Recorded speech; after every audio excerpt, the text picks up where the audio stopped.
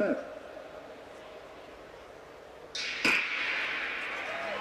er løperne i gang. Det holder foreløpig å løpe på 50 blank for å komme seg videre hvis man ikke er blant de fire beste. Ser vi at Erik Alejandro fra Puerto Rico i bane 6 går meget eh, sterkt ut i banen utenfor Gullgården. David Green mer beskjeden åpning i bane 4. Løpes ikke i den eh, innerste banen her. Og Alejandro som eh, løper for samme nasjon som Javier Kølsen, som jo har eh, sett da. Han leder fremdeles over neste siste hekk, og så kommer Isa Phillips fra Jamaica. Og til Gordon og da i Green.